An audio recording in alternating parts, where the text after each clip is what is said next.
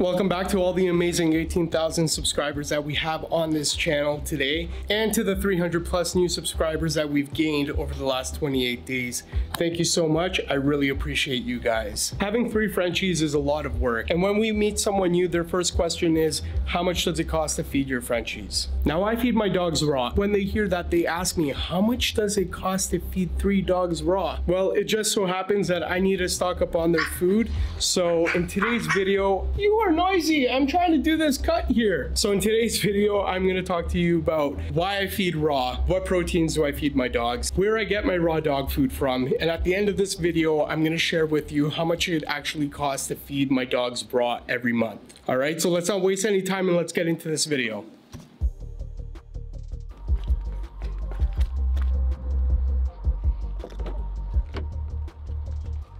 So I feed my dogs a raw diet because there's so many benefits to it. It's good for weight management, gums, and their teeth. So when Kifli and Sirach were still puppies and they were still growing and they were learning how to go to the washroom outside, it was a huge benefit to them and me because they weren't going to the washroom as frequently, but also when they did go, because we did have accidents inside, it didn't smell bad at all. Nothing compared to like if I were to be feeding them kibble. Also because of all the moisture that the raw food contains, they don't drink a lot of water, so they don't end up going to the washroom as often. Okay, we gotta get some gas. Now, aside from all the benefits that I just listed to you guys, another reason why I feed my dogs a raw food diet is because I know exactly what's going into their food and into their bowls. The problem that I see with kibble is that a majority of the kibble that is out there has some kind of chicken or poultry, which if you have a French Bulldog or any kind of bully breed, you know that these dogs are allergic to.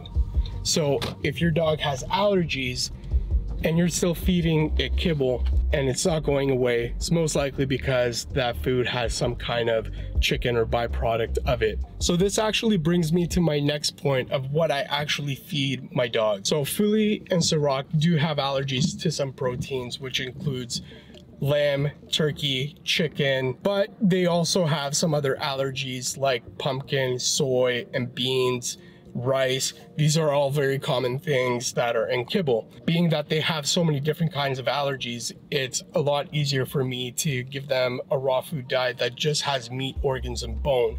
Now, if you want to learn more about raw dog food, then go check out my raw starter guide video. I'll have a link for it up top. There's always a lineup at Costco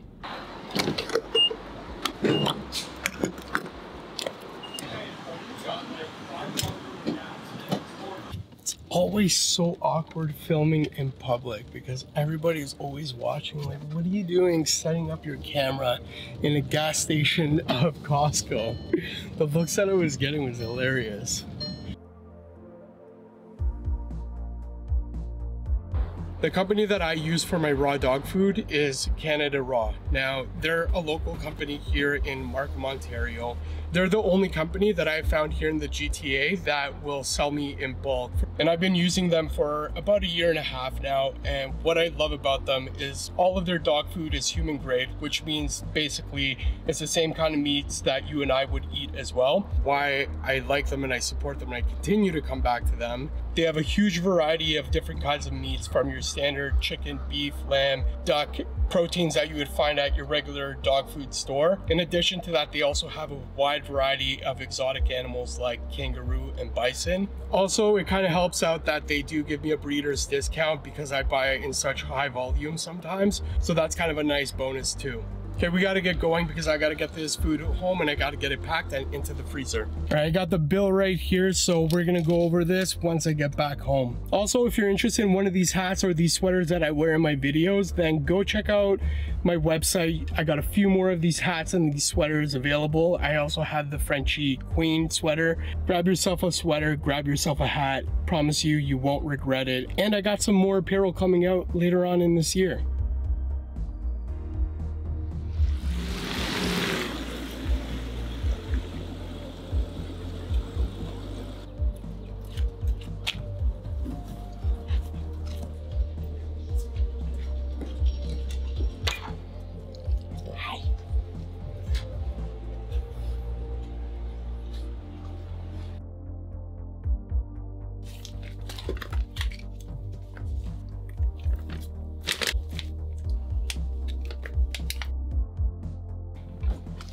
Okay, so I got the bill right here. So a few things. I know earlier in this video, I said that bully breeds French Bulldogs, they're all allergic to chicken and poultry. However, I have had allergy testing done on all three of my dogs, so I know what they're allergic to. So we just stay away from turkey, lamb, chicken, and there's a bunch of other ingredients in there like pumpkin and soy, oats. There's a list of them, which is why kibble doesn't work for us. So with that said, I feed Fuli, Kifli, and Sirach duck, pork, and beef, and I throw some fish in there sometimes as well. Fuli weighs about 30 pounds, and based on his weight, he's getting about 10 ounces a day. Kifli and Sirach are both around the same weight. They're about 22 pounds, so they're getting about 8 ounces a day each. So we're going through just a little bit over a pound and a half a day. Now for this run, I only picked up 90 pounds. I got 30 pounds of pork, 30 pounds of duck, and 30 pounds of beef.